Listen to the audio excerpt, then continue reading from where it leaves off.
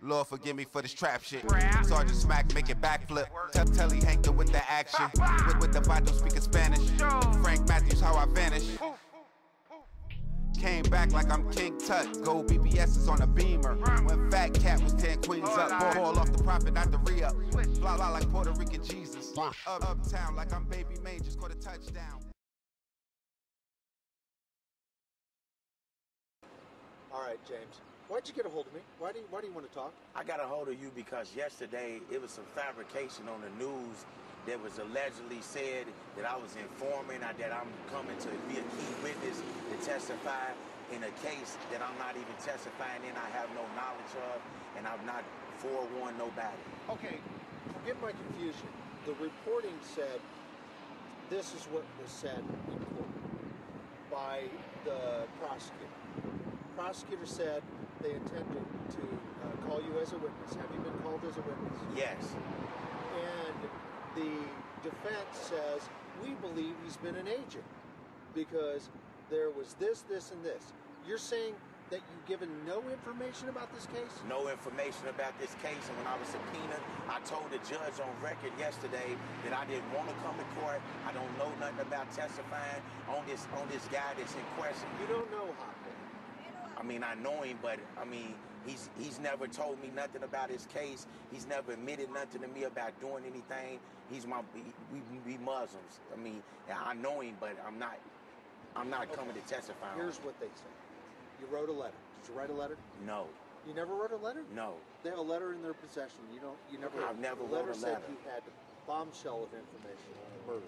You never wrote that. I never wrote no letter. I never talked to detectives about in questioning on on uh, this guy John Jones. It's propaganda that's been going on since I've been released. That's coming from the jail and coming from people. I've never talked to detectives. In fact, they a try to reach me and a rat, and police call him a murderer. But now he's also playing the role of a victim after investigators arrest another suspect for trying to rob and kill him.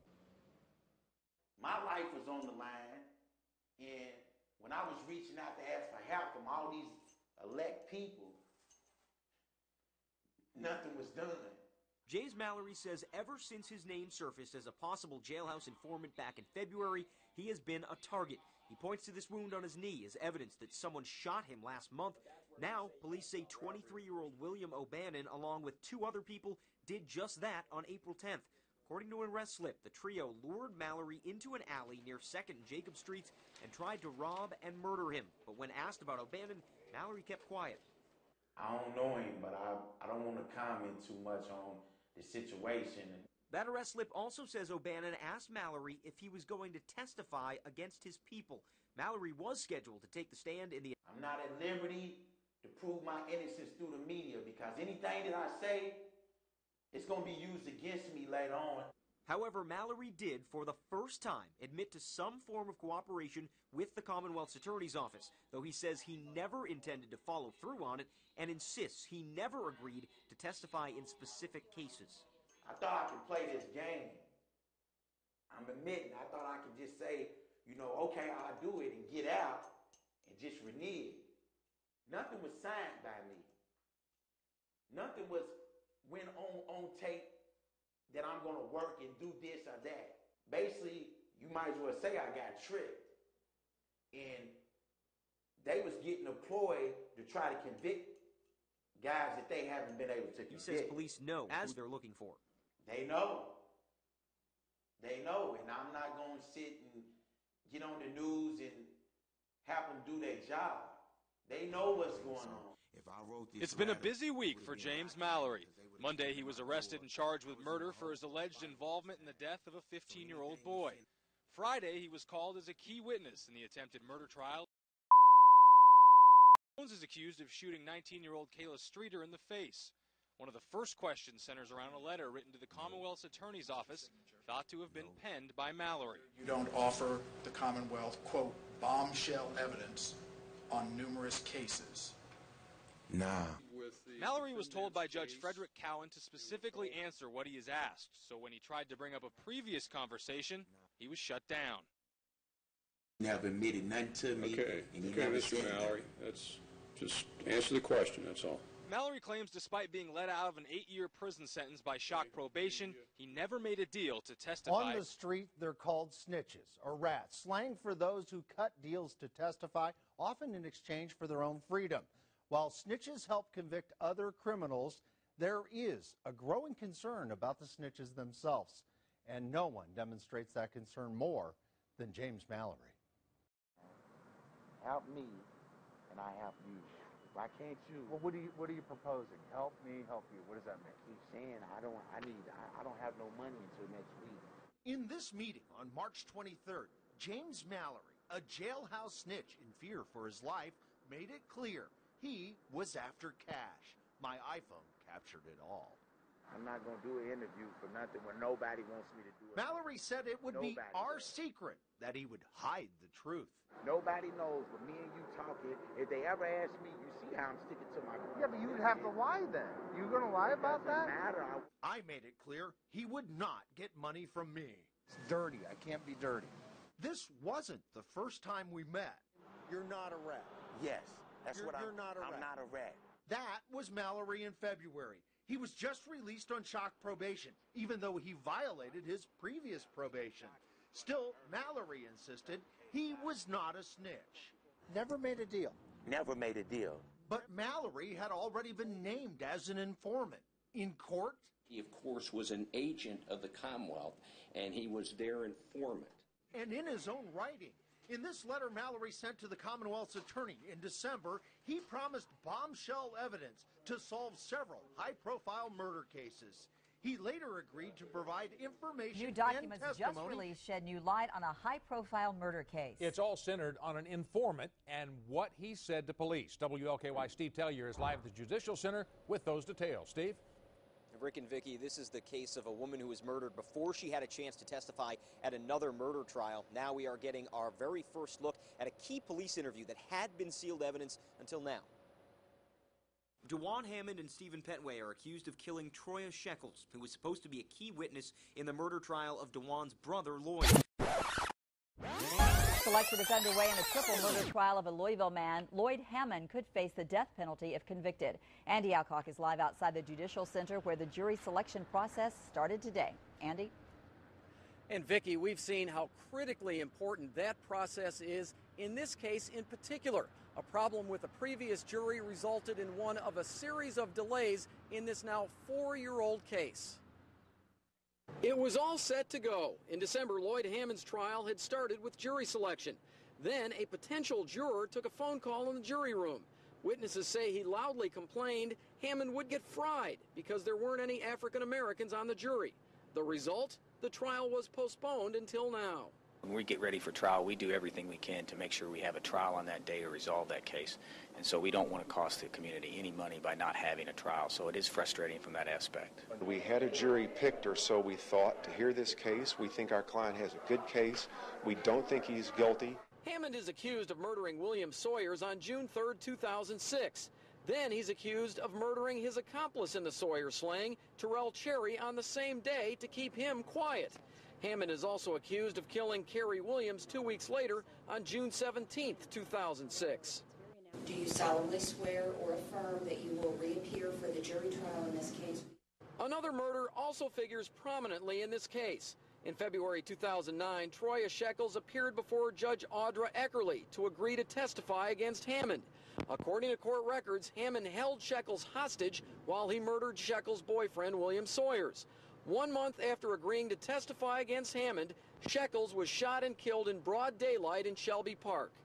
Unfortunately, our criminal justice system is overtaxed and underfunded and um, incapable of providing proper protection for a witness like Troya.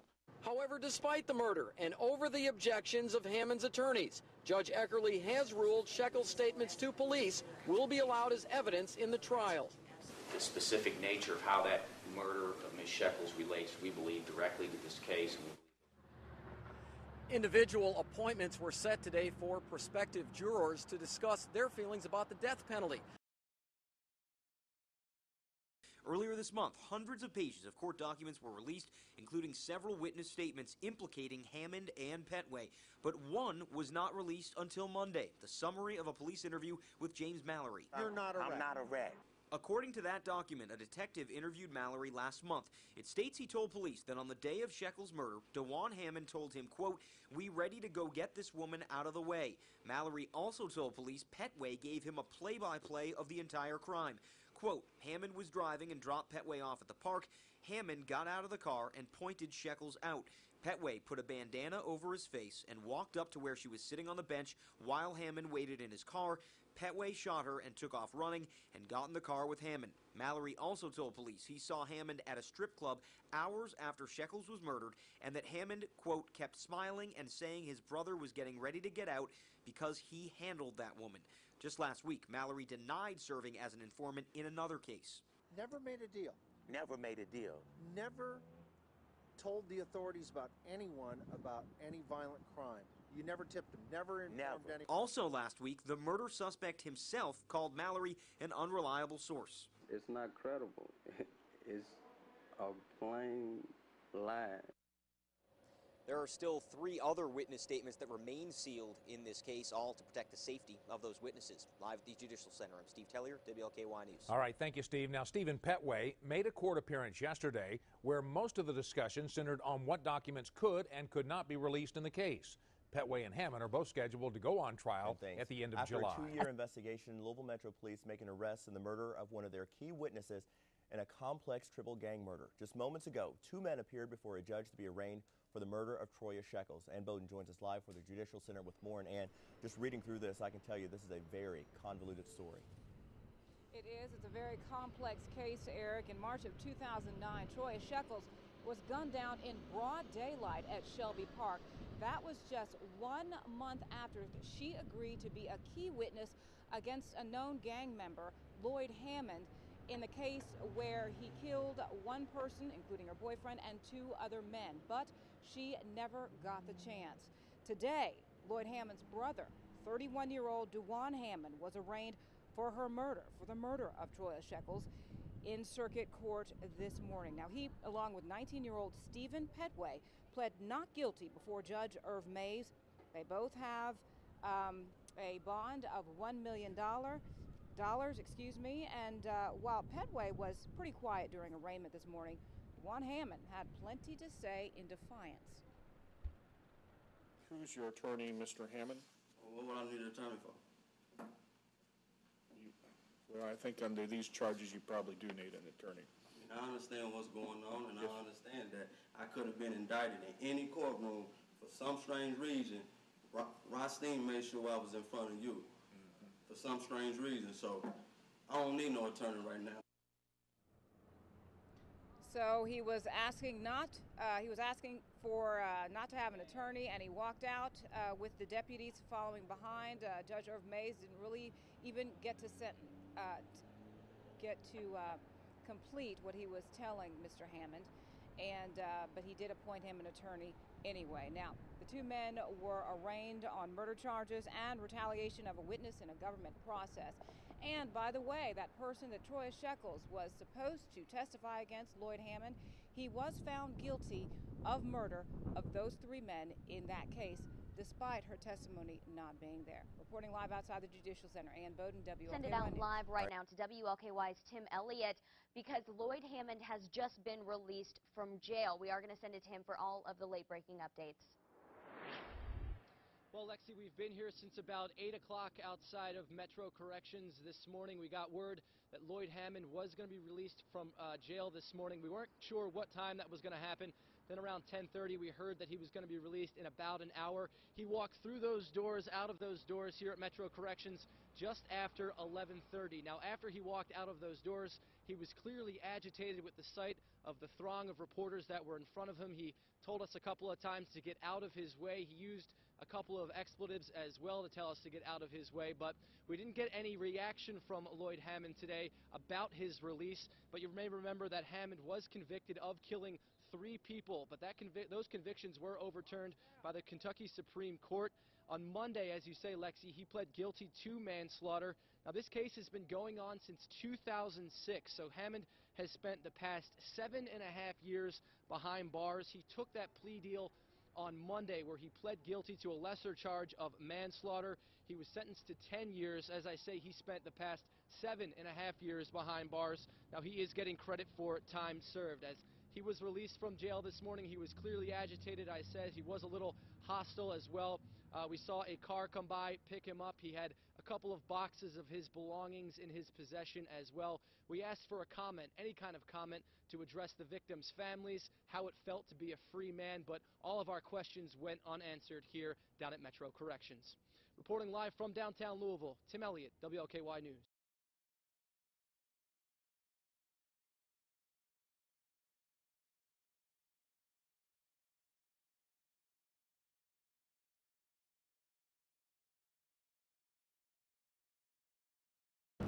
We waited 12 long years for this. Justice has finally been served for our families. Standing outside the courtroom, the families of William Sawyers and Terrell Cherry hugged. This is a day they say they've been waiting for for more than a decade. It's the best day in the world for us. After three trials, a jury found Lloyd Hammond guilty of facilitating the 2006 murder of Terrell Cherry. Police say Cherry was killed because he witnessed the deadly shooting of William Sawyers earlier that day. A jury recommended Hammond spend 65 years in prison for his role in the crimes. I think 65 years sends a clear message to Mr. Hammond about what he did and the, the, hurt he caused our community. Before the jury made its decision, Terrell Cherry's mother told jurors she lives with the pain of her son's death every day. And then to shoot him three times in the head and leave him there. That's not. Lord. I'm just saying it hurts. It hurts. William Sawyer's sister says her brother was her best friend. The day my brother was taken from me, I felt like I was I went with my brother. My life it has been nothing but stress for 12 years. Hammond was convicted of the murders once before, but that verdict was thrown out by the state Supreme Court in 2010. The families say they're glad Hammond's trial ended with another guilty verdict. What family wants to go through pain three times? None. To relive it over and over and over again. Lloyd Hammond's attorney tells me they've already decided to appeal the jury's decision. Hammond is set to be formally sentenced in April. Reporting live downtown, Emily Maha, WLKY News. Yo, yo, we back. It's your boy Populi. Mobb Ties. We on our way to Louisville, Kentucky with it. Y'all already know how I get when we get to Louisville. All my niggas in Kentucky, y'all know what to do.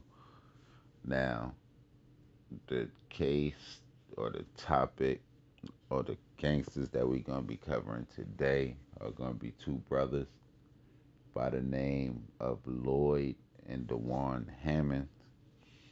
Now, a little bit about the two brothers. Lloyd, um, I can't even really say who's younger or who's older. I don't, I'm not privy to that information. But we're going to start the story off with Lloyd because in 2006 he found himself in some trouble where he was charged with a triple murder where it's alleged that he murdered or he was convicted. His, key convicted. The, the convictions was overturned. He was re-convicted. He was re-indicted. So y'all pretty much decide what the fuck happened. Well, in 2006, he was, uh, I guess he was charged in 2009, but it was alleged in 2006 that he committed a triple murder. Um, with one of the victims.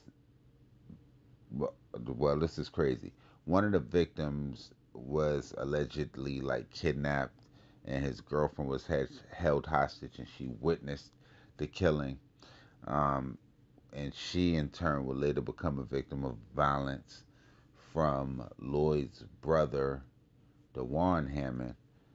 But uh, another one of the other victims um, one of the the other victim was actually accomplice in the murder um, of Troya Shekels' boyfriend, and it's said that Lloyd Hammond ended up killing him so that he wouldn't testify against him in that case. So these niggas was eliminating witnesses off the top.